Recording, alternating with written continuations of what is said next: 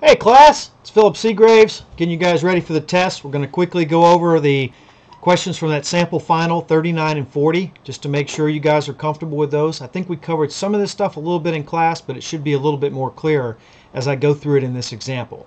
So we're going to jump over to the sample final, take a look at those questions, and then we will work them from there. And uh, I think you'll feel a little bit better about these questions afterward.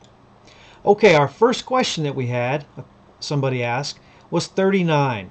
In this case, we have a random number, 0.57, which is either uh, the dice, a 5 and a 7, or we have a random number from a random number from Excel. In the test, it'll be given to you like this.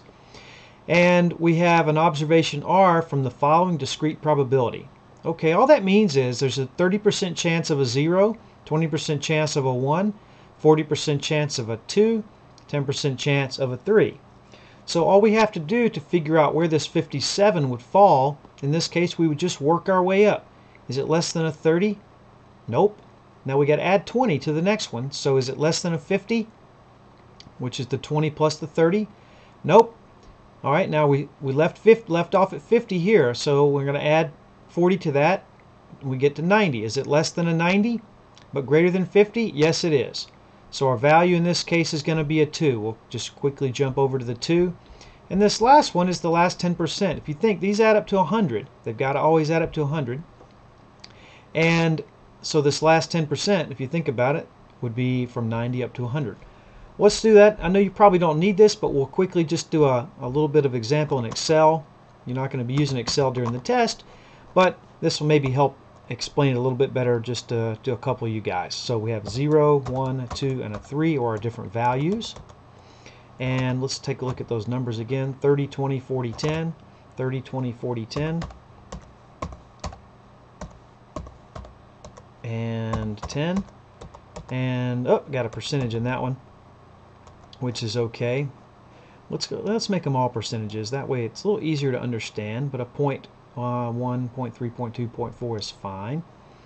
Now, what we're doing here is as we make our comparison to our random number, we need to kind of add these up. So uh, the first one's just going to be the 30%. The next one would be the 30 plus the 20. And then I'll just drag those down. So we keep going up until we hit one that's higher than our number. Is 30 higher than a number? Nope. Is 50 higher than our number? Nope. Is 90 higher than the number? Yep. So that's the one we want to stick with. And we're going to go over here. Because we know that it's higher than 30, so we're not higher than 50, so we won't be here. So it's going to be between 50 and the maximum. This is the top of our range, this number here. So it's going to be a 2, which again takes us back to the answer to this problem, which is C. Okay, now the next one, 40, a little bit tougher, but I know all of you guys can handle this. In this case, we have machine breakdowns that can either happen on each day, zero breakdowns, one breakdown, or two breakdowns. And these are the probabilities. 60% chance it's not going to break down at all. 30% chance that we'll have one breakdown that day, and a 10% chance that it'll break down twice. This is like the grease filter in the checkers fryer. So it's either going to break down none, 60% chance. In this case, it's not increasing each day like we had in our example in class. It's just the same probabilities every day. Every single, so even if you don't, if it doesn't break down yesterday, you still have these same prob probabilities today. Now in this case, we have random numbers that have already been provided. And what we'll do is we'll copy these and then we'll jump over to Excel. We have 0, 1, and 2, 60, 30, and 10. We had 60, 30, and 10, whoops, and 10%. And I don't need this bottom row.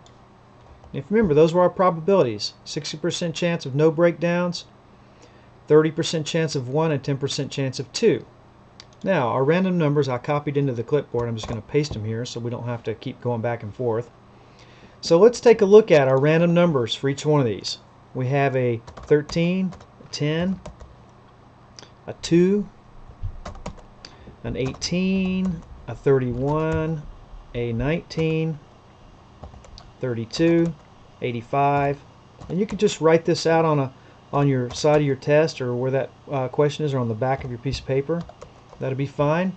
And then what we're going to do is use these random numbers and come over here to our chart. And kind of the same way we did before, we're going to kind of go down till we bump into one, and that's the one we're going to use in this cumulative column. So at 13, up, oh, okay, it's less than 60. So we have zero breakdowns.